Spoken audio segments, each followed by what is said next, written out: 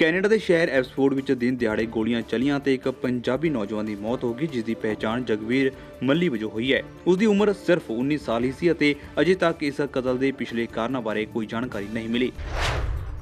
Canada ਦੇ ਸਥਾਨਕ ਸਮੇਂ ਮੁਤਾਬਕ ਦੁਪਹਿਰ 3:30 ਮਿੰਟ ਉਤੇ ਸਿੰਪਲ ਰੋਡ ਅਤੇ ਰਾਸ ਰੋਡ ਉਤੇ ਗੋਲੀਬਾਰੀ ਹੋਣ ਦੀ ਜਾਣਕਾਰੀ ਮਿਲੀ ਸੀ। ਜਦ ਤੱਕ ਪੁਲਿਸ ਇੱਥੇ ਪਹੁੰਚੀ, ਤਦ ਤੱਕ ਹਮਲਾਵਰ ਦੌੜ ਚੁੱਕੇ ਸਨ ਅਤੇ ਨੌਜਵਾਨ ਜ਼ਖਮੀ ਹਾਲਤ ਵਿੱਚ ਡਿੱਗਿਆ ਹੋਇਆ ਸੀ। ਇੱਕ ਗਵਾਹ ਨੇ ਦੱਸਿਆ ਕਿ ਉਹ ਸੜਕ ਤੋਂ ਲੰਘ ਰਹੀ ਸੀ ਤਾਂ ਉਸ ਦੀ ਨਜ਼ਰ ਇੱਕ ਜ਼ਖਮੀ ਨੌਜਵਾਨ ਉੱਤੇ ਪਈ। ਉਸਨੇ ਸੋਚਿਆ ਕਿ ਉਹ ਉਸ ਦੀ ਮਦਦ ਕਰੇ, ਪਰ ਇਸ ਨੌਜਵਾਨ ਦੇ ਸਿਰ ਵਿੱਚੋਂ ਖੂਨ ਨਿਕਲ ਰਿਹਾ ਸੀ, ਜਿਸ ਨੂੰ ਬਚਾਉਣਾ ਉਸ ਦੇ ਵੱਸ ਦੀ ਗੱਲ ਨਹੀਂ ਸੀ। ਉਸਨੇ ਕਿਹਾ ਹੈ ਕਿ ਉਹ ਨਰਸ ਹੈ ਅਤੇ ਉਸਨੇ ਮੈਡੀਕਲ ਅਧਿਕਾਰੀਆਂ ਦੇ ਆਉਣ ਤੱਕ ਉਸ ਨੂੰ ਸੀਪੀਆਰ ਦੇਣ ਦੀ ਕੋਸ਼ਿਸ਼ ਕੀਤੀ। ਉਸਨੇ ਕਿਹਾ ਹੈ ਕਿ ਅਫਸੋਸ ਹੈ ਕਿ ਨੌਜਵਾਨ ਨੂੰ ਬਚਾਇਆ ਨਹੀਂ ਜਾ ਸਕਿਆ। ਮੰਗਲਵਾਰ ਨੂੰ ਜਾਰੀ ਇੱਕ ਰਿਪੋਰਟ ਮੁਤਾਬਕ ਅਮਰੀਕਾ ਵਿੱਚ ਪੜ੍ਹਾਈ ਕਰਨ ਲਈ ਜਾਣ ਵਾਲੇ ਭਾਰਤੀ ਵਿਦਿਆਰਥੀਆਂ ਦੀ ਗਿਣਤੀ ਵਿੱਚ ਬੀਤੇ ਸਾਲ ਦੀ ਤੁਲਨਾ ਵਿੱਚ 5.4% ਫੀਸਦੀ ਦਾ ਵਾਧਾ ਦਰਜ ਕੀਤਾ ਗਿਆ ਹੈ।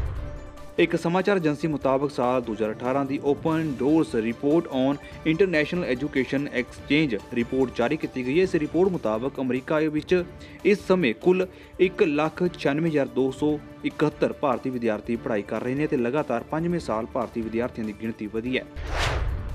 ਰਿਪੋਰਟ ਜਾਰੀ ਕਰਨ ਦੇ ਮੌਕੇ ਉਤੇ ਵਣਜ ਦੂਤਕਾਰ ਮਾਮਲਿਆਂ ਦੇ ਮੰਤਰੀ ਜੋਸਫ ਪੌਂਪਰ ਨੇ ਕਿਹਾ ਹੈ ਕਿ ਬੀਤੇ 10 ਸਾਲ ਦੇ ਅੰਕੜੇ ਦੱਸਦੇ ਨੇ ਕਿ ਅਮਰੀਕਾ ਜਾ ਕੇ ਪੜਨ ਵਾਲਿਆਂ ਦੀ ਗਿਣਤੀ ਦੁੱਗਣੀ ਹੋਈ ਹੈ। FBI ਦੀ ਇੱਕ ਰਿਪੋਰਟ ਮੁਤਾਬਕ ਅਮਰੀਕਾ ਵਿੱਚ 2017 ਵਿੱਚ ਨਫ਼ਰਤ ਅਪਰਾਧ ਦੇ ਕਰੀਬ 8400 ਮਾਮਲੇ ਸਾਹਮਣੇ ਆਏ ਨੇ। ਇਹਨਾਂ ਵਿੱਚ ਸਿੱਖਾਂ ਖਿਲਾਫ 24 ਹਿੰਦੂਆਂ ਖਿਲਾਫ 15 ਅਤੇ ਮੁਸਲਮਾਨਾਂ ਖਿਲਾਫ 300 ਤੋਂ ਜ਼ਿਆਦਾ ਨਫ਼ਰਤੀ ਅਪਰਾਧ ਦੀਆਂ ਘਟਨਾਵਾਂ ਵਾਪਰੀਆਂ ਨੇ। ਮੰਗਲਵਾਰ ਨੂੰ ਇੱਕ ਜਾਰੀ ਰਿਪੋਰਟ ਵਿੱਚ ਦੱਸਿਆ ਗਿਆ ਹੈ ਕਿ ਸਭ ਤੋਂ ਜ਼ਿਆਦਾ 1678 ਨਫ਼ਰਤ ਅਪਰਾਧ ਯਹੂਦੀਆਂ ਖਿਲਾਫ ਹੋਏ ਨੇ। ਰਿਪੋਰਟ ਵਿੱਚ ਦੱਸਿਆ ਗਿਆ ਹੈ ਕਿ ਕੁੱਲ ਮਿਲਾ ਕੇ 2017 ਵਿੱਚ ਕਰੀਬ 8437 ਨਫ਼ਰਤ ਅਪਰਾਧ ਦੇ ਮਾਮਲੇ ਦਰਜ ਕੀਤੇ ਗਏ ਨੇ। ਨਾਲ ਹੀ ਬੋਧੀਆਂ ਖਿਲਾਫ ਵੀ ਨਫ਼ਰਤ ਅਪਰਾਧ ਦੇ 9 ਮਾਮਲੇ ਵੇਖਣ ਨੂੰ ਮਿਲੇ ਨੇ। ਸਿੱਖ ਭਾਈਚਾਰੇ ਦੇ ਹੱਕਾਂ ਦੀ ਰਾਖੀ ਕਰਨ ਵਾਲੇ ਸਿੱਖ ਕੁਲੀਸ਼ਨ ਨੇ ਕਿਹਾ ਹੈ ਕਿ ਸਿੱਖਾਂ ਖਿਲਾਫ ਹੋਏ ਕੁੱਲ 24 ਮਾਮਲਿਆਂ ਵਿੱਚੋਂ 12 ਐਂਟੀ ਸਿੱਖ ਵਾਰਦਾਤਾਂ ਉਹਨਾਂ ਤੱਕ ਪਹੁੰਚੀਆਂ ਸਨ। ਉਹਨਾਂ ਨਾਲ ਹੀ ਕਿਹਾ ਹੈ ਕਿ ਅਜਿਹੇ ਕਈ ਮਾਮਲਿਆਂ ਵਿੱਚ ਤਾਂ ਪੀੜਤ ਪੁਲਿਸ ਨੂੰ ਸੂਚਿਤ ਤੱਕ ਨਹੀਂ ਕਰਦੇ। ਕੈਲੀਫੋਰਨੀਆ ਵਿੱਚ ਭਾਰਤੀ ਮੂਲ ਦੀ ਇੱਕ ਔਰਤ ਸਣੇ ਤਿੰਨ ਵਿਅਕਤੀਆਂ ਨੂੰ ਜਾਇਦਾਦ ਨੂੰ ਗਿਰਵੀ ਰੱਖ ਕੇ ਕਰਜ਼ਾ ਦੇਣ ਲਈ ਅਪਲਾਈ ਕਰਨ ਦੀ ਧੋਖਾਧੜੀ ਦੇ ਮਾਮਲੇ ਵਿੱਚ ਸਜ਼ਾ ਸੁਣਾਈ ਗਈ ਹੈ। ਇਹ ਧੋਖਾਧੜੀ 93 ਲੱਖ ਡਾਲਰ ਦੀ ਸੀ। ਮੇਲੈਂਡ ਬੈਂਕ ਫਰਜ਼ੀਵਾੜੇ ਅਤੇ ਕਰਜ਼ ਅਰਜ਼ੀਆਂ ਦੇ ਸਬੰਧ ਵਿੱਚ ਫਰਜ਼ੀ ਸਟੇਟਮੈਂਟ ਦੇਣ ਦੇ ਦੋਸ਼ ਵਿੱਚ 72 ਸਾਲਾ ਸੁਰਜੀਤ ਸਿੰਘ ਨੇ ਉਹਨਾਂ ਦੇ 44 ਸਾਲਾ ਪੁੱਤਰ ਰਾਜੇਸ਼ਵਰ ਸਿੰਘ ਦੋਹਾਂ ਨੂੰ 11 ਸਾਲ ਅਤੇ 3 ਮਹੀਨੇ ਦੀ ਜੇਲ੍ਹ ਦੀ ਸਜ਼ਾ ਸੁਣਾਈ ਹੈ। ਉੱਥੇ 56 ਸਾਲਾ ਅਨੀਤਾ ਸ਼ਰਮਾ ਨੂੰ ਇਨ੍ਹਾਂ ਦੋਸ਼ਾਂ ਲਈ 3 ਸਾਲ 10 ਮਹੀਨੇ ਕੈਦ ਸੁਣਾਈ ਗਈ ਹੈ। ਸੁਰਜੀਤ ਨੂੰ ਹਿਰਾਸਤ ਵਿੱਚ ਲੈ ਲਿਆ ਗਿਆ ਜਦਕਿ ਰਾਜੇਸ਼ਵਰ ਅਤੇ ਅਨੀਤਾ 9 ਜਨਵਰੀ 2019 ਨੂੰ ਸਰੈਂਡਰ ਕਰਨਗੇ। ਵਿਗਿਆਨੀ ਮਨੋਰੰਜਨ ਦੇ ਖੇਤਰ ਵਿੱਚ ਸੰਬੰਧਿਤ ਇੱਕ ਨਵੀਂ ਤਕਨੀਕ ਵਿਕਸਿਤ ਕਰਨ ਉੱਤੇ ਕੰਮ ਕਰ ਰਹੇ ਨੇ। ਜਲਦੀ ਹੀ ਅਜਿਹੀ ਟੈਕਨੋਲੋਜੀ ਵਾਲਾ ਟੀਵੀ ਆ ਰਿਹਾ ਹੈ, ਜਿਸ ਨੂੰ ਤੁਸੀਂ ਦਿਮਾਗ ਜ਼ਰੀਏ ਕੰਟਰੋਲ ਕਰ ਸਕੋਗੇ। ਸਿਰਫ ਤੁਹਾਡੇ ਸੋਚਣ ਨਾਲ ਹੀ ਚੈਨਲ ਬਦਲ ਲਿਆ ਜਾਵੇਗਾ ਤੇ ਆਵਾਜ਼ ਵੀ ਘੱਟ ਵੱਧ ਕੀਤੀ ਜਾ ਸਕਦੀ ਹੈ। ਕੰਪਨੀ ਨੇ ਪਿਛਲੇ ਹਫ਼ਤੇ ਸੈਨ ਫਰਾਂਸਿਸਕੋ ਵਿੱਚ ਹੋਈ ਡਿਵੈਲਪਰ ਕਾਨਫਰੰਸ ਵਿੱਚ ਇਸ ਦਾ ਪ੍ਰੋਟੋਟਾਈਪ ਪੇਸ਼ ਕਰ ਦਿੱਤਾ ਹੈ। ਕੰਪਨੀ ਨੇ ਬਿਆਨ ਦੇ ਵਿੱਚ ਦੱਸਿਆ ਹੈ ਕਿ ਇਸ ਪ੍ਰੋਜੈਕਟ ਦਾ ਮੂਲ ਉਦੇਸ਼ ਗੰਭੀਰ, ਸਰੀਰਕ ਅਸਮਰਥਾ ਵਾਲੇ ਲੋਕਾਂ ਨੂੰ ਬਿਨਾਂ ਕਿਸੇ ਦੀ ਮਦਦ ਦੇ ਪਸੰਦੀਦਾ ਸੀਰੀਅਲ ਅਤੇ ਸ਼ੋਅ ਦਿਖਾਉਣ ਵਿੱਚ ਮਦਦ ਕਰਨਾ ਹੈ।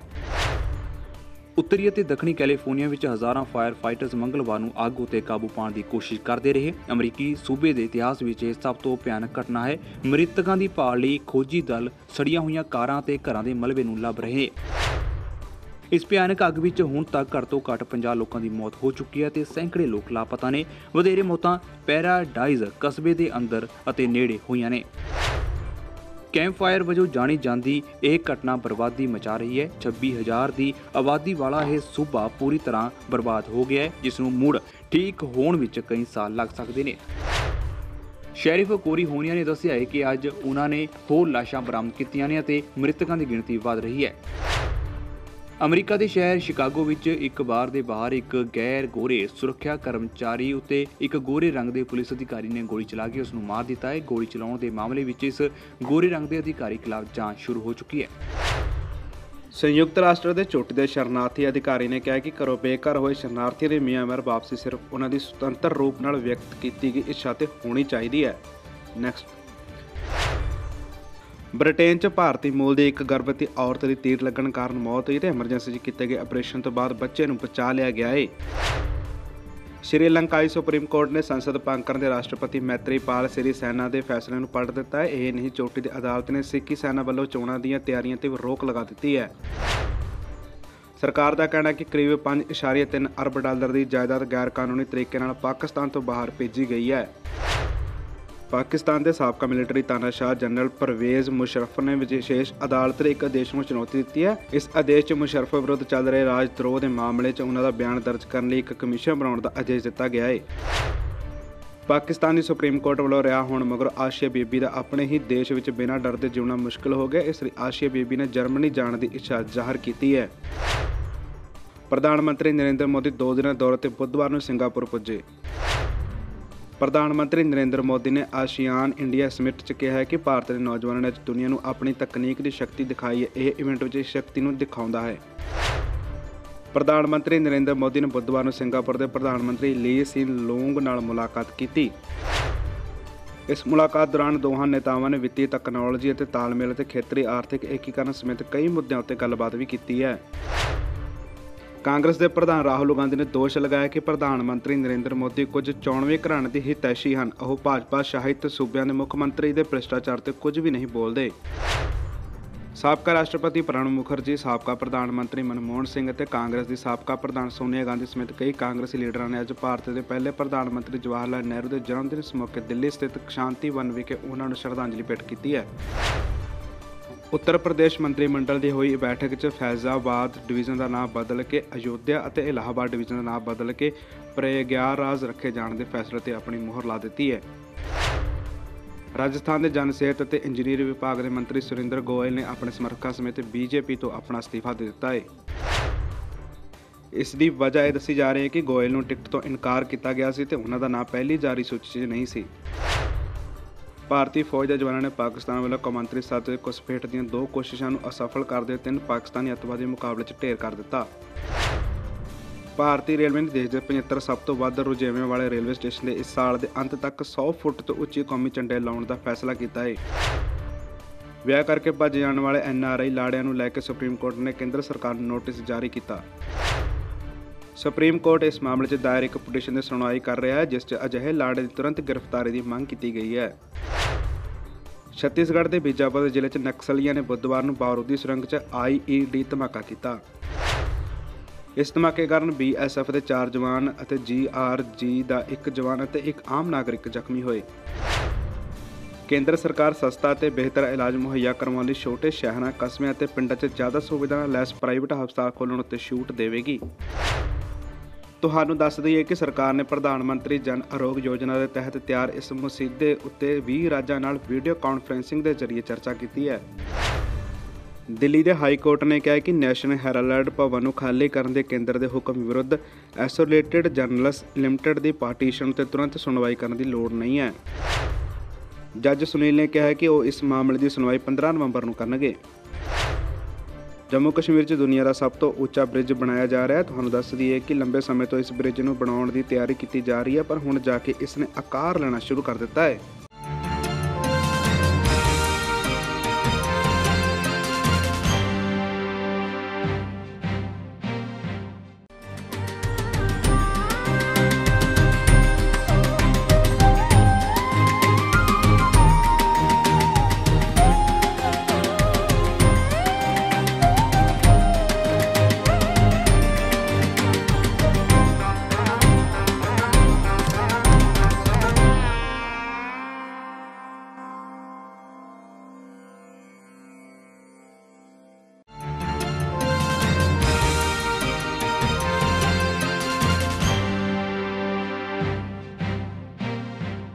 ਪਟਿਆਲਾ 'ਚ ਸਾਂਝਾ ਅਧਿਆਪਕਾ ਮੋਰਚਾ ਵੱਲੋਂ ਕੀਤੇ ਐਲਾਨ ਮੁਤਾਬਕ ਪੰਜਾਬ ਦੇ ਕੈਬਨਿਟ ਮੰਤਰੀ ਦੀ ਕੋਠੀ ਦਾ ਘਰਾਓ ਕਰਨ ਤਿੱਖੀ ਨਾਅਰੇਬਾਜ਼ੀ ਦੌਰਾਨ ਰੋਸ ਪ੍ਰਦਰਸ਼ਨ ਕੀਤਾ ਗਿਆ ਹੈ। ਜਿਸ ਦੌਰਾਨ ਪੁਲਿਸ ਨੇ ਅਧਿਆਪਕਾਂ ਨੂੰ ਪਹਿਲਾਂ ਹੀ ਮੇਨ ਰੋਡ ਸੇਵਾ ਠੇਕਰੀ ਵਾਲਾ ਚੌਂਕ ਕੋਲ ਰੋਕ ਲਿਆ ਜਿੱਥੇ ਅਧਿਆਪਕਾਂ ਵੱਲੋਂ ਸੜਕ ਉੱਤੇ ਬੈਠ ਕੇ ਸਰਕਾਰ ਖਿਲਾਫ ਰੋਸ ਪ੍ਰਦਰਸ਼ਨ ਕੀਤਾ ਗਿਆ ਇਸ ਧਰਨਾ ਕੈਬਨਿਟ ਮੰਤਰੀ ਬ੍ਰਹਮਿੰਦਰਾ ਦੀ ਰਿਹਾਇਸ਼ ਦੇ ਸਾਹਮਣੇ ਕੀਤਾ ਗਿਆ ਤੇ ਕੈਬਨਿਟ ਮੰਤਰੀ ਦੇ ਪੀਏ ਨੂੰ ਆਪਣੀ ਮੰਗਾਂ ਸੰਬੰਧੀ ਮੰਗ ਪੱਤਰ ਵੀ ਸੌਂਪਿਆ ਗਿਆ ਹੈ।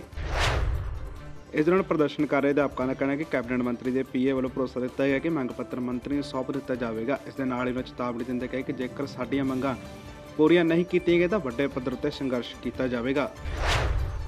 ਅੰਮ੍ਰਿਤਸਰ 'ਚ ਪ੍ਰੇਮ ਸਬੰਧਾਂ ਦੇ ਚੱਲਦੇ ਇੱਕ ਨੌਜਵਾਨ ਦਾ ਤੇਜ਼ ਤਾਰ ਹਥਿਆਰਾਂ ਨਾਲ ਕਤਲ ਕਰ ਦੇਣ ਦਾ ਮਾਮਲਾ ਸਾਹਮਣੇ ਆਇਆ। ਜਾਣਕਾਰੀ ਮੁਤਾਬਕ ਮ੍ਰਿਤਕ ਧਰਮਵੀਰ ਸਿੰਘ ਆਂਧਰਾ ਪ੍ਰਦੇਸ਼ 'ਚ ਕਿਸੇ ਕੰਪਨੀ 'ਚ ਨੌਕਰੀ ਕਰਦਾ ਸੀ। ਇਸ ਮੌਕੇ ਮ੍ਰਿਤਕ ਦੀ ਪਤਨੀ ਦੱਸਿਆ ਕਿ ਉਸ ਨੂੰ ਇੱਕ ਵਿਧਵਾ ਔਰਤ ਦਾ ਫੋਨ ਆਇਆ ਸੀ, ਜਿਸ ਤੋਂ ਬਾਅਦ ਉਕਤ ਔਰਤ ਦੇ ਘਰ ਚਲਾ ਗਿਆ। ਜਿੱਥੇ ਉਸ ਦੀ ਬੇਰਹਿਮੀ ਨਾਲ ਕੁੱਟਮਾਰ ਕੀਤੀ ਗਈ ਤੇ ਤੇਜ਼ਧਾਰ ਹਥਿਆਰ ਨਾਲ ਉਸ ਨੂੰ ਗੰਭੀਰ ਜ਼ਖਮੀ ਕਰਕੇ ਨੇੜਲੇ ਖੇਤਾਂ 'ਚ ਸੁੱਟ ਦਿੱਤਾ ਗਿਆ। ਜਿਸ ਦਾ ਪਤਾ ਲੱਗਣ ਤੇ ਪਰਿਵਾਰ ਵਾਲਿਆਂ ਨੇ ਪਿੰਡ ਵਾਸੀਆਂ ਦੀ ਮਦਦ ਨਾਲ ਗੰਭੀਰ ਰੂਪ 'ਚ ਹੋਏ ਜ਼ਖਮੀ ਨੂੰ ਗੁਰੂ ਨਾਨਕ ਦੇਵ ਹਸਪਤਾਲ 'ਚ ਦਾਖਲ ਕਰਵਾਇਆ ਜਿੱਥੇ ਉਸ ਦੀ ਇਲਾਜ ਦੌਰਾਨ ਮੌਤ ਹੋ ਗਈ ਹੈ। ਪੰਜਾਬ ਪੁਲਿਸ ਦੀ ਸਹੀ ਕਾਰਜਗੁਜ਼ਾਰੀ ਨਾ ਹੋਣ ਕਾਰਨ ਲੁਟੇਰੇ ਹੁਣ ਦਿਨ ਦਿਹਾੜੇ ਲੁੱਟ ਖੋਹ ਦੀਆਂ ਵਾਰਦਾਤਾਂ ਨੂੰ ਅੰਜਾਮ ਦੇ ਰਹੇ ਨੇ। ਅਜੇ ਇੱਕ ਉਦਾਹਰਨ ਨਾਭਾ ਤੋਂ ਸਾਹਮਣੇ ਹੈ ਜਿੱਥੇ SBI ਬੈਂਕ ਦੀ ਕਾਰ ਚੋਂ ਵਿੱਚ ਬੈਂਕ ਦੇ ਮੁਲਾਜ਼ਮ ਕੇਸ ਲੈ ਕੇ ਅੰਦਰ ਜਾ ਰਹੇ ਸਨ ਤਾਂ 50 ਲੱਖ ਰੁਪਏ ਦੀ ਰਾਸ਼ੀ ਦੋ ਲੁਟੇਰੇ ਗਨ ਦੀ ਨੌਕ ਤੇ ਲੁੱਟ ਕੇ ਫਰਾਰ ਹੋ ਗਏ। ਬੈਂਕ ਦੇ ਗਨਮੈਨ ਪ੍ਰੇਮ ਚੰਦ ਨੂੰ ਗੋਲੀ ਮਾਰ ਦਿੱਤੀ ਹੈ, ਜਿਸ ਤੋਂ ਬਾਅਦ ਜ਼ਖਮੀ ਨੂੰ ਇਲਾਜ ਲਈ ਹਸਪਤਾਲ ਦਾਖਲ ਕਰਵਾਇਆ ਗਿਆ, ਜਿੱਥੇ ਉਸ ਦੀ ਇਲਾਜ ਦੌਰਾਨ ਮੌਤ ਹੋ ਗਈ। ਪਟਿਆਲਾ 'ਚ ਇੱਕ ਨਾਬਾਲਗ ਲੜਕੀ ਨਾਲ ਛੇੜਛਾੜ ਕਰਨ ਤੇ ਕੁੱਟਮਾਰ ਕਰਨ ਦਾ ਮਾਮਲਾ ਸਾਹਮਣੇ ਆਇਆ। ਜਾਣਕਾਰੀ ਮੁਤਾਬਕ ਲੜਕੀ ਦੇ ਪਿਤਾ ਵੱਲੋਂ ਪੁਲਿਸ ਨੂੰ ਸ਼ਿਕਾਇਤ ਦਰਜ ਕਰਵਾਈ ਗਈ ਸੀ। ਇਸ ਦੀ ਜਾਣਕਾਰੀ ਦਿੰਦਿਆਂ ਐਸਪੀਡੀ ਮਨਜੀਤ ਸਿੰਘ ਬਰਾੜ ਨੇ ਜਾਣ ਦੱਸਿਆ ਹੈ ਕਿ ਲੜਕੀ ਦੇ ਪਿਤਾ ਦੀ ਸ਼ਿਕਾਇਤ ਦੇ ਆਧਾਰ ਤੇ ਮਾਮਲਾ ਦਰਜ ਕਰਕੇ ਦੋਸ਼ੀ ਨੂੰ ਗ੍ਰਿਫਤਾਰ ਕਰ ਲਿਆ ਗਿਆ ਹੈ। ਦੇਸ਼ ਭਰ 'ਚ ਅੱਜ ਦੇ ਦਿਨ ਪੰਡਿਤ ਜਵਾਹਰ ਲਾਲ ਨਹਿਰੂ ਨੂੰ ਯਾਦ ਕਰਦੇ ਬਾਲ ਦਿਵਸ ਦੇ ਰੂਪ 'ਚ ਮਨਾਇਆ ਜਾਂਦਾ ਹੈ ਤੇ ਜਿਸ ਦੀ ਇੱਕ ਮਿਸਾਲ ਲੁਧਿਆਣਾ ਤੋਂ ਸਾਹਮਣੇ ਆਈ, ਜਿੱਥੇ ਸਰਕਾਰੀ ਸੀਨੀਅਰ ਸੈਕੰਡਰੀ ਸਕੂਲ 'ਚ ਇੱਕ ਸਮਾਗਮ ਕਰਵਾਇਆ ਗਿਆ। ਜਿਸ ਦੌਰਾਨ ਬੱਚਿਆਂ ਵੱਲੋਂ ਅਲੱਗ-ਅਲੱਗ ਐਕਟੀਵਿਟੀਜ਼ ਕਰਕੇ ਪ੍ਰੋਗਰਾਮ ਪੇਸ਼ ਕੀਤਾ ਗਿਆ। ਇਸ ਮੌਕੇ ਸਕੂਲ ਪ੍ਰਬੰਧਕਾਂ ਦਾ ਕਹਿਣਾ ਕਿ ਦੇਸ਼ ਦੇ ਪਹਿਲੇ ਪ੍ਰਧਾਨ ਮੰਤਰੀ ਚਾਚਾ ਨਹਿਰੂ ਵੱਲੋਂ ਅੱਜ ਦੇ ਦਿਨ ਨੂੰ ਬਾਲ ਦਿਵਸ ਦੇ ਰੂਪ 'ਚ ਮਨਾਉਣ ਦੀ ਮਨਜ਼ੂਰੀ ਦਿੱਤੀ ਗਈ ਸੀ। ਪੰਜਾਬ 'ਚ ਕਰਜ਼ੇ ਦੇ ਮੱਕੜ ਜਾਲ 'ਚ ਫਸੇ ਕਿਸਾਨਾਂ ਵੱਲੋਂ ਆਤਮ ਹੱਤਿਆ ਕਰਨ ਦਾ ਸਿਲਸਿਲਾ ਰੁਕਣ ਦਾ ਨਾਮ ਨਹੀਂ ਲੈ ਰਿਹਾ। ਤਾਜ਼ਾ ਮਾਮਲਾ ਮਾਨਸਾ ਦਾ ਹੈ, ਜਿੱਥੇ 45 ਸਾਲਾ ਕਿਸਾਨ ਨੇ ਕਰਜ਼ੇ ਤੋਂ ਪਰੇਸ਼ਾਨ ਹੋ ਕੇ ਜ਼ਹਿਰ ਨਿਕਲ ਕੇ ਖੁਦਕੁਸ਼ੀ ਕਰ ਲਈ ਹੈ। ਕਿਸਾਨ ਦੇ ਸਿਰ ਉੱਤੇ ਕਰੀਬ 20 ਲੱਖ ਰੁਪਏ ਦਾ ਕਰਜ਼ਾ ਸੀ ਤੇ ਕਿਸਾਨ 5 ਏਕੜ ਜ਼ਮੀਨ ਦਾ ਮਾਲਕ ਸੀ। ਮ੍ਰਿਤਕ ਦੇ ਪਰਿਵਾਰਕ ਮੈਂਬਰ ਨੇ ਦੱਸਿਆ ਕਿ ਸਿਰ ਉੱਤੇ ਕਰਜ਼ਾ ਤੇ ਪੈਦਾਵਾਰ ਘੱਟ ਹੋਣ ਕਾਰਨ ਇਹ ਕਦਮ ਚੁੱਕਿਆ ਗਿਆ ਹੈ ਤੇ ਪੀੜਤ ਪਰਿਵਾਰ ਨੇ ਸਰਕਾਰ ਤੋਂ ਯੋਗ ਮੁਆਵਜ਼ਾ ਤੇ ਇੱਕ ਬੱਚੇ ਨੂੰ ਸਰਕਾਰੀ ਨੌਕਰੀ ਦੇਣ ਦੀ ਮੰਗ ਕੀਤੀ ਹੈ। ਲੁਧਿਆਣਾ ਪੁਲਿਸ ਨੇ ਲੁੱਟ ਖੋਹ ਕਰਨ ਵਾਲੇ ਗਰੋਹ ਦਾ ਪਰਦਾਫਾਸ਼ ਕਰਦਿਆਂ ਚਾਰ ਮੈਂਬਰਾਂ ਨੂੰ ਕਾਬੂ ਕਰਨ ਦਾ ਦਾਅਵਾ ਕੀਤਾ ਤੇ ਵਾਰਦਾਤ ਨੂੰ ਅੰਜਾਮ ਦੇਣ ਸਮੇਂ ਵਰਤੋਂ ਕੀਤੇ ਜਾਣ ਹਥਿਆਰ ਵੀ ਬਰਾਮਦ ਕਰ ਲਏ ਗਏ ਨੇ। ਇਸ ਮਾਮਲੇ ਸੰਬੰਧੀ ਜਾਣਕਾਰੀ ਦਿੰਦਿਆਂ ਏਡੀਸੀਪੀ ਗੁਰਪ੍ਰੀਤ ਸਿੰਘ ਸਕਾਂ ਨੇ ਦੱਸਿਆ ਕਿ ਸਨੈਚਰ ਗਰੋਹ ਤੇਜ਼ਧਾਰ ਹਥਿਆਰਾਂ ਨਾਲ ਲੋਕਾਂ ਨੂੰ ਡਰਾ ਕੇ ਲੁੱਟ ਦੀਆਂ ਵਾਰਦਾਤਾਂ ਨੂੰ ਅੰਜਾਮ ਦਿੰਦੇ ਸਨ। ਦੋਸ਼ੀਆਂ ਕੋਲੋਂ 11 ਮੋਬਾਈਲ ਫੋਨ, ਤੇਜ਼ਧਾਰ ਹਥਿਆਰ ਵੀ ਬਰਾਮਦ ਕੀਤੇ ਗਏ ਤੇ ਦੋਸ਼ੀਆਂ ਨੂੰ ਗ੍ਰਿਫਤਾਰ ਕਰਕੇ ਅਗਲੀ ਕਾਰਵਾਈ ਸ਼ੁਰੂ ਕਰ ਦਿੱਤੀ ਹੈ। ਪੰਜਾਬ ਸਰਕਾਰ ਵੱਲੋਂ ਚਲਾਈ ਗਈ ਘਰ ਘਰ ਰੋਜ਼ਗਾਰ ਮੁਹਿੰਮ ਤਹਿਤ ਬੇਰੁਜ਼ਗਾਰ ਨੂੰ ਰੋਜ਼ਗਾਰ ਮੁਹੱਈਆ ਦਿਵਾਉਣ ਦੇ ਉਦੇਸ਼ ਨਾਲ ਜ਼ਿਲ੍ਹਾ ਪ੍ਰਸ਼ਾਸਨ ਵੱਲੋਂ ਜ਼ਿਲ੍ਹਾ ਬਿਊਰੋ ਆਫ ਰੋਜ਼ਗਾਰ ਜਨਰੇਸ਼ਨ ਐਂਡ ਟ੍ਰੇਨਿੰਗ ਮਾਨਸਾ ਵੱਲੋਂ ਤੀਜਾ ਰਾਜ ਪੱਧਰੀ ਰੋਜ਼ਗਾਰ ਮੇਲਾ ਮਾਨਸਾ ਦੇ ਨਹਿਰੂ ਮੈਮੋਰੀਅਲ ਕਾਲਜ ਵਿੱਚ ਲਗਾਇਆ ਗਿਆ। ਜਿਸ ਵਿੱਚ ਵੱਖ-ਵੱਖ 14 ਕੰਪਨੀਆਂ ਵੱਲੋਂ ਸ਼ਿਰਕਤ ਕੀਤੀ ਗਈ, ਜਦੋਂ ਕਿ ਡਿਪਟੀ ਕਮਿਸ਼ਨਰ ਨੇ ਅਗਲਾ ਮੇਲਾ 17 ਨਵੰਬਰ ਨੂੰ ਲਗਾਇਆ ਜਾਣ ਦਾ ਐਲਾਨ ਕੀਤਾ ਹੈ ਵਿਸ਼ਵ ਚੈਂਪੀਅਨਸ਼ਿਪ 'ਚ ਛੇਵਾਂ ਸੌਣ ਤੱਕ ਜਿੱਤਣ ਦੀ ਕੋਸ਼ਿਸ਼ 'ਚ ਲੱਗੀ। ਮੁੱਕੇਬਾਜ਼ ਐਮਸੀ ਮੈਰੀ ਕਾਬ ਨੇ ਕਿਹਾ ਹੈ ਕਿ ਉਹ ਯੁਵਾ ਮੁੱਕੇਬਾਜ਼ੀ ਦੀ ਚੁਣੌਤੀ ਨੂੰ ਨਜਿੱਠਣ ਲਈ ਆਪਣੇ ਤਜਰਬੇ ਅਤੇ ਊਰਜਾ ਦਾ ਇਸਤੇਮਾਲ ਕਰੇਗੀ। ਭਾਰਤ ਦੇ ਚੋਟੀ ਕ੍ਰਮ ਦੇ ਬੱਲੇਬਾਜ਼ ਰੋਹਿਤ ਸ਼ਰਮਾ ਨੇ ਨਿਊਜ਼ੀਲੈਂਡ ਏ ਵਿਰੁੱਧ ਪਹਿਲੇ 4 ਦਿਨਾਂ ਮੈਚ ਤੋਂ ਆਰਾਮ ਦਿੱਤਾ।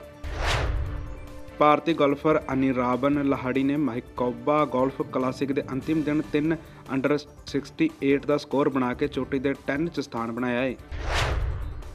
ਤੇਲਗੂ ਟਾਈਟਨਸ ਨੇ ਪ੍ਰੋ ਕਬੱਡੀ ਲੀਗ 'ਚ ਪੁਰੇਣੀ ਪਲਟਨ ਨੂੰ ਹਰਾਇਆ ਤੇ ਦੂਜੇ ਦੂਜੇ ਮੈਚ 'ਚ ਯੂ ਮੁੰਬਾ ਨੇ ਯੂਪੀ ਯੋਧਾ ਨੂੰ ਹਰਾਇਆ। ਲੰਡਨ ਦੇ ਓਟਾ ਏਰੇਨਾ 'ਚ ਜੈਕੋਵਿਚ ਤੇ ਇਸਨਰ ਦਾ ਮੈਚ ਦੇਖਣ ਲਈ ਪੁਰਤਗਾਲੀ ਫੁੱਟਬਾਲ ਸਟਾਰ ਕ੍ਰਿਸਟਾਨੋ ਰੋਨਾਲਡੋ ਪਹੁੰਚੇ। ਸ਼੍ਰੀਲੰਕਾ ਦੇ ਸਾਬਕਾ ਖਿਡਾਰੀ ਦਿਲਹਾਰਾ ਲੋਹਤੇਕੀ ਤੇ ਅਮੀਰਾਤ ਕ੍ਰਿਕਟ ਬੋਰਡ ਦੀ ਭ੍ਰਿਸ਼ਟਾਚਾਰ ਰੋਕੋ ਨਿਯਮ ਦੀ ਉਲੰਘਣਾ ਦੇ ਦੋਸ਼ ਲੱਗੇ ਨੇ। ਆਈਸੀਸੀ ਨੇ ਇੱਕ ਬਿਆਨ ਜਾਰੀ ਕਰਕੇ ਇਸ ਗੱਲ ਦੀ ਜਾਣਕਾਰੀ ਦਿੱਤੀ ਹੈ। ਬੰਗਲਾਦੇਸ਼ ਨੇ ਦੂਜੇ ਕ੍ਰਿਕਟ ਟੈਸਟ ਦੇ ਤੀਜੇ ਦਿਨ ਜ਼ਿੰਬਾਬਵੇ ਵਿਰੁੱਧ ਆਪਣਾ ਪਲੜਾ ਭਾਰੀ ਰੱਖਿਆ। ਲਿਵਰਪੂਲ ਦੇ ਸਟ੍ਰਾਈਕਰ ਡੈਨੀਅਸ ਟਰੀਜ਼ ਦੇ ਸੱਟੇਬਾਜ਼ੀ ਨਾਲ ਜੁੜੇ ਨਿਯਮਾਂ ਦੀ ਉਲੰਘਣਾ ਕਰਨ ਲਈ ਦੋਸ਼ ਲਾਏ ਜਿਸ ਨਾਲ ਉਸ ਨੂੰ ਫੁੱਟਬਾਲ ਤੋਂ ਪਾਬੰਦੀ ਲੱਗ ਸਕਦੀ ਹੈ। ਵਿਸ਼ਵ ਸ਼ਤਰੰਜ ਚੈਂਪੀਅਨਸ਼ਿਪ 2018 ਦੇ ਮੁਕਾਬਲੇ 'ਚ ਮੈਗਨਸ ਕਾਰਲਸ ਤੇ ਫੈਬਿਓਨਾ ਕਾਰੋਨਾ ਵਿਚਾਲੇ ਖੇਡੀ ਗਈ ਤੀਜੀ ਬਾਜੀ ਵੀ ਬਿਨਾਂ ਕਿਸੇ ਹਾਰ ਜਿੱਤ ਦੇ ਖਤਮ ਹੋਈ। ਆਈਸੀਸੀ ਮਹਿਲਾ ਟੀ20 ਵਿਸ਼ਵ ਕੱਪ ਕ੍ਰਿਕਟ ਟੂਰਨਾਮੈਂਟ ਦੇ ਮੁਕਾਬਲੇ 'ਚ ਪਾਕਿਸਤਾਨ ਨੇ ਆਇਰਲੈਂਡ ਨੂੰ 38 ਦੌੜਾਂ ਨਾਲ ਹਰਾਇਆ। ਚੀਨ ਸਮਰਸ ਦੇ ਸਭ ਤੋਂ ਵੱਡਾ ਵਪਾਰ ਕਰਾਰ ਰੀਜਨਲ ਮਾਈਕਰੋ ਇਕਨੋਮਿਕ ਪਾਰਟਨਰ 2019 ਤੱਕ ਟਲਿਆ।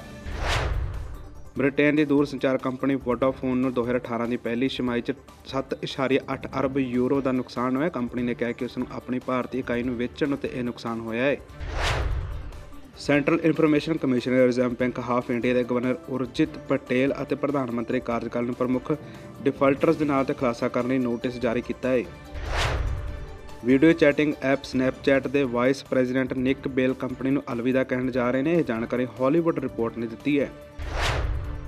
ਮੰਗਲਵਾਰ ਨੂੰ ਇੱਕ ਵਾਰ ਫਿਰ ਯੂਐਸਏ ਤੇ ਕੱਚੇ ਤੇਲ ਦੀਆਂ ਕੀਮਤਾਂ ਡਿੱਗ ਕੇ 58 ਡਾਲਰ ਪ੍ਰਤੀ ਬੈਰਲ ਤੱਕ ਆਈਆਂ।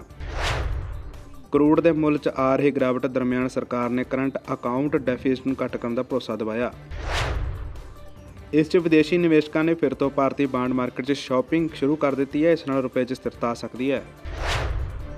ਭਾਜਪਾ ਨੇ ਫਿਲਮ ਉੱਤੇ ਲਵ ਜਿਹਾਦ ਨੂੰ ਹੁਲਾਰਾ ਦੇਣ ਦਾ ਇਲਜ਼ਾਮ ਲਾਉਂਦੇ ਇਸ ਉੱਤੇ ਬੈਨ ਕਰਨ ਦੀ ਮੰਗ ਕੀਤੀ ਹੈ। ਇਸ ਦਾ ਜਵਾਬ ਦਿੰਦੇ ਹੋਏ ਕੇਦਾਰਨਾਥ ਤੇ ਮੇਕਰਸ ਨੇ ਕਿਹਾ ਕਿ ਉਹਨਾਂ ਦੀ ਫਿਲਮ ਦਾ ਮਕਸਦ ਕਿਸੇ ਦੀ ਭਾਵਨਾ ਨੂੰ ਠੇਸ ਪਹੁੰਚਾਉਣਾ ਨਹੀਂ, ਸਗੋਂ ਲੋਕਾਂ ਨੂੰ ਐਂਟਰਟੇਨਮੈਂਟ ਕਰਨਾ ਹੈ। ਮਾਰਵਲ ਕਾਈਮੈਕਸ ਦੇ ਪ੍ਰਮੁੱਖ ਸਟੇਨ ਲੀ ਦੇ ਦੇਹਾਂਤ ਦੀ ਖਬਰ ਨਾਲ ਪੂਰਾ ਮਨੋਰੰਜਨ ਜਗਤ ਸਦਮੇ 'ਚ ਹੈ। ਹਾਲੀਵੁੱਡ ਤੋਂ ਲੈ ਕੇ ਬਾਲੀਵੁੱਡ ਤੱਕ ਸਾਰੇ ਸੈਲੀਬ੍ਰਿਟੀ ਉਹਨਾਂ ਨੂੰ ਸੋਸ਼ਲ ਮੀਡੀਆ ਤੇ ਦੁੱਖ ਪ੍ਰਗਟਾਵਾ ਕਰ ਰਹੇ ਨੇ। Film thugs of Hindustan Amitabh ਦੇ ਕੈਰੀਅਰ ਦੇ ਇੱਕ ਅਜਿਹੀ ਫਿਲਮ ਹੈ ਜਿਸ ਨੇ 100 ਕਰੋੜ ਦਾ ਅੰਕੜਾ ਪਾਰ ਕੀਤਾ ਹੈ Bollywood actor Akshay Kumar real life 'ਚ ਜਿੰਨੇ ਫੇਟ ਨਜ਼ਰ ਆਉਂਦੇ ਹਨ, ਇਸ ਪਿੱਛੇ ਉਹਨਾਂ ਦੀ ਅਨੁਸ਼ਾਸਨ ਭਰੀ ਜ਼ਿੰਦਗੀ ਹੈ ਉਹਨਾਂ ਦੀ ਧੀ, ਨਿਤਾਰਾ ਵੀ ਉਹਨਾਂ ਦੇ ਹੀ ਨਕਸ਼ੇ ਕਦਮ ਤੇ ਚੱਲ ਰਹੀ ਹੈ। ਰੇਬਲ ਨੇ ਆਪਣੇ ਇੰਸਟਾਗ੍ਰam ਅਕਾਊਂਟ ਤੇ ਪੋਸਟ ਪਾਉਂਦੇ ਹੋਏ ਲਿਖਿਆ ਹੈ ਕਿ ਡਰਾਮਾ ਕਵੀਨ ਰਾਖੀ ਸਾਵੰਤ ਉਸ ਨਾਲ ਰਿੰਗ 'ਚ ਲੜਨਾ ਚਾਹੁੰਦੀ ਸੀ, ਜਿਸ ਜਿਸ ਕਾਰਨ ਉਸਨੇ ਰਾਖੀ ਨੂੰ ਬਾਡੀ ਸਲੈਮਡ ਦਾ ਮਾਰਿਆ ਹੈ ਬਾਲੀਵੁੱਡ ਐਕਟਰ ਰਣਵੀਰ ਸਿੰਘ ਦੇ ਦੀਪਕਾ ਪਾਦੂਕੋਣ ਦੀ ਗ੍ਰੈਂਡ ਵੈਡਿੰਗ ਤੋਂ ਬਾਅਦ ਮੁੰਬਈ ਤੇ ਬੈਂਗਲੌਰ ਵਿੱਚ ਸਪੈਸ਼ਲ ਪਾਰਟੀ ਆਯੋਜਨ ਹੋਵੇਗਾ। ਗੁਰਲੇਜ਼ ਅਖਤਰ ਦੀ ਪ੍ਰਸਿੱਧੀ ਨੂੰ ਕੈਸ਼ ਕਰਨ ਲਈ ਕਿਸੇ ਸ਼ਰਾਰਤੀ ਨੇ ਗੁਰਲੇਜ਼ ਅਖਤਰ ਦਾ ਨਵਾਂ ਤਿਆਰ ਹੋਇਆ ਰਿਹਾ ਗੀਤ ਰਿਲੀਜ਼ ਹੋਣ ਤੋਂ ਪਹਿਲਾਂ ਹੀ ਸੋਸ਼ਲ ਮੀਡੀਆ ਤੇ ਲੀਕ ਕਰ ਦਿੱਤਾ ਹੈ ਉਹਨਾਂ ਨੇ ਇਹੋ ਜਿਹੇ ਸਾਈਬਰ ਕ੍ਰਾਈਮ ਕਰਨ ਵਾਲਿਆਂ ਤੇ ਨਾਰਾਜ਼ਗੀ ਜ਼ਾਹਿਰ ਕਰਦਿਆਂ ਗੁਰਲੇਜ਼ ਅਖਤਰ ਨੇ ਕਿਹਾ ਕਿ ਕਿਸੇ ਦੀ ਕੀਤੀ ਹੋਈ ਮਿਹਨਤ ਨੂੰ ਇਸ ਤਰ੍ਹਾਂ ਖਰਾਬ ਨਹੀਂ ਕਰਨਾ ਚਾਹੀਦਾ ਤੇ ਉਹਨਾਂ ਨੂੰ ਆਸ ਹੈ ਕਿ ਇਸ ਗੀਤ ਨੂੰ ਪੰਜਾਬੀ ਸਰੋਤੇ ਪਹਿਲਾਂ ਦੀ ਤਰ੍ਹਾਂ ਹੀ ਪਿਆਰ ਦੇਣਗੇ।